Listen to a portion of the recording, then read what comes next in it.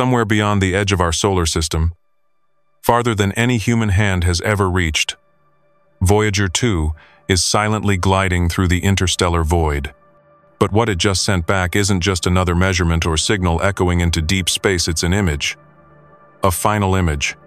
And what that image revealed is so unexpected, so perfectly structured, so out of place in the infinite randomness of the cosmos, that it sent shockwaves through the deepest corners of the scientific community.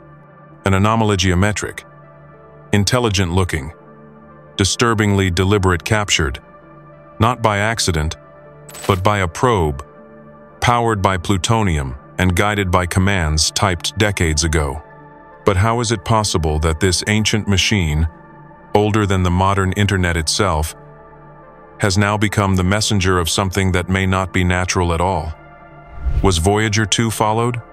Did it cross into a region where physics itself behaves differently? Or has it stumbled upon something that was never meant to be seen? This isn't a coincidence. This is a warning signetched in mathematics, woven in light, encoded in the final frames of Voyager 2's journey. And if you think the universe is empty, think again. When Voyager 2 launched in 1977, it carried with it humanity's most optimistic gesture, a golden disk filled with greetings, music, and sounds of Earth a time capsule aimed at whoever or whatever might find it. That was the message, or so we thought. But nearly 50 years later, what Voyager 2 has returned with suggests something even more chilling. The reply. The image retrieved from Voyager's final data burst wasn't supposed to be possible, not with its failing cameras. Not at this distance. And yet, when analyzed using a quantum AI system designed to scan for patterns invisible to the human eye, it revealed a structure, not a star, not a planet, not dust or plasma but a lattice. Precise, symmetrical, and persistent across multiple frames. It's the kind of order that defies randomness and whispers of design. But here's what's worse it remained fixed in relative position to the spacecraft, as if orbiting it or tracking it. Scientists at NASA were quick to rule out hardware failure. The anomaly wasn't just seen in one camera. It was present in multiple instruments, layered across different wavelengths and time intervals. The structure, when mapped, showed repeating Fibonacci ratios and prime number spacings as signature so profoundly mathematical that one physicist described it as the universe winking at us with code. But structures like this don't exist in deep space, especially not ones that seem to adapt. That's right when Voyager's sensors actively scanned, the anomaly changed slightly, as if responding to being observed. This behavior is reminiscent of the observer effect in quantum mechanics, but not at the atomic scale. This was kilometers wide, how can a structure react to observation unless it's aware? And if it's aware, it might not be natural. It might be artificial. Or worse it, might be alive. To understand what Voyager 2 might have encountered, we must accept an unsettling truth. The edge of our solar system isn't just a boundary of particles and plasma. It's a transitiona region where the very fabric of space begins to mutate. According to quantum gravity theorists, space-time beyond the heliopause could allow phenomena we've never modeled. Think of it as the cosmic twilight zone, where the rules written in Einstein's language begin to blur and bend into quantum dialects. The structure captured in Voyager's image fits no known model of interstellar matter. It reflects no light but absorbs specific frequencies. It casts no shadow but disrupts magnetic fields. It might not be part of our dimension at all. Some suggest what Voyager saw could be a projection, a higher dimensional object intersecting with our space. In simpler terms, a shadow from another universe. Now following a machine we built in the 1970s with technology less advanced than a modern calculator.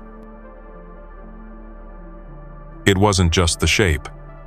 When quantum AI parsed the data, it uncovered something buried deep in the anomaly's transmission patterns.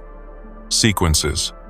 Not just any sequences, but prime numbers, Fibonacci spirals, and geometric symmetries that mirrored the exact mathematical language used on the Voyager Golden Record. The patterns lined up with Earth's attempt to define universal matha Rosetta Stone for alien minds. But here's the terrifying twist. The response wasn't just similar, it was mirroring.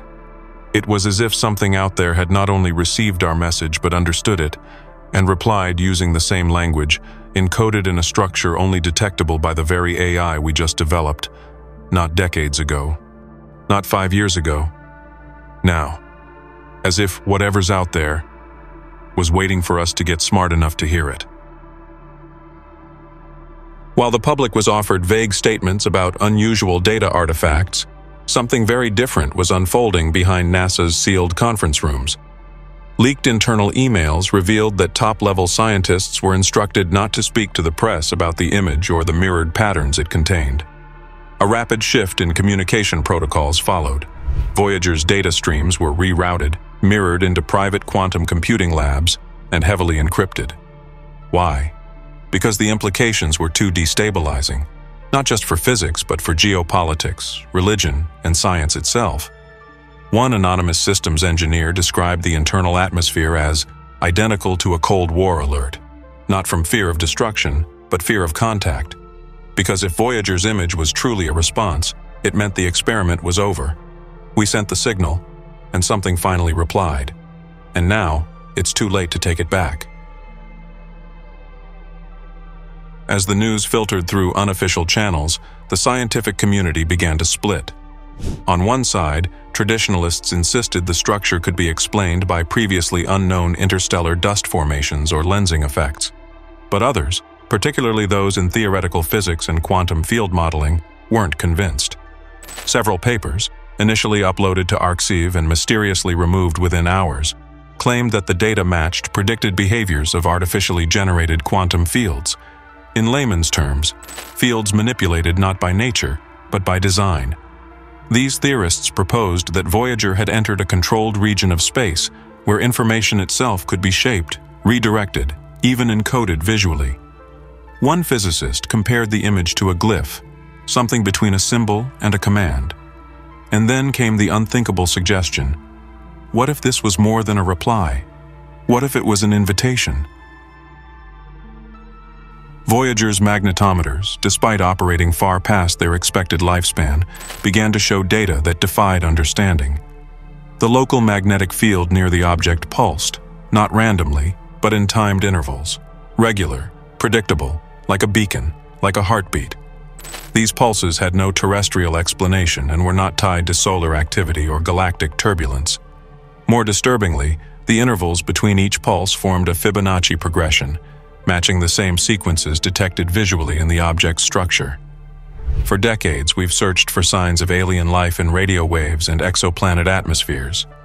But what Voyager 2 might have just found is something far more advanced, a civilization or force that manipulates the very environment around it, leaving behind not wreckage or radio but pattern, knowing only the intelligent would see it. And we just did. As analysis deepened, a terrifying thought began to solidify, not in science journals, but in private meetings among physicists, signal analysts, and AI theorists.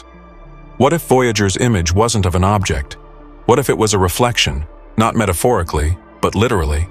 A dynamic, responsive distortion in space itself, like a mirror turning itself toward us the moment we looked too deeply. Some suggested Voyager hadn't captured something new, but had triggered something dormant, a mechanism, a field, a sentient surveillance system lying in wait, invisible until one of our machines finally breached the correct boundary. Not to be attacked, not to be welcomed, but simply to be seen. And now, with Voyager drifting silently into the darkness, leaving behind an image that should not exist, we may have crossed a threshold we were never meant to reach. One where the observers become the observed. For nearly half a century, Voyager 2 drifted silently through the void, carrying with it the hopes of a species too young to understand what it was truly asking. We embedded our music, our mathematics, our heartbeat into a disk of gold and launched it into the unknown, believing that maybe someday someone would find it. But deep down, we never truly believed they'd answer. Until now. The final image Voyager 2 captured isn't just a picture. It's a rupture. A quiet tear in our understanding of what lies beyond. A geometric echo of our own logic reflected back at us in forms too precise, too deliberate, to be chance. It's not a star, not a planet, not a comet or dust or gas. It's something else, something that thinks, that waits, that mirrors. And worst of all, something that seems to understand us. We once believed we were sending our message into the void, but Voyager's final act may have confirmed the most ancient fear buried in every myth, in every religion, in every staring eye that ever looked up at the sky. We were never alone. Not in this galaxy, not in this dimension, not even in our silence. And now, with a single image captured by a dying machine, that silence has been broken. The sky is no longer quiet, because something just blinked. If this revelation shook you, if it made you question everything we thought we knew about space, time, and solitude, then don't walk away in silence. Subscribe to this channel. We follow the transmissions that others fear to acknowledge. Turn on notifications, because Voyager's final message may not be its last. Share this video with someone who still believes space is empty. Comment below, was it a reply or a test?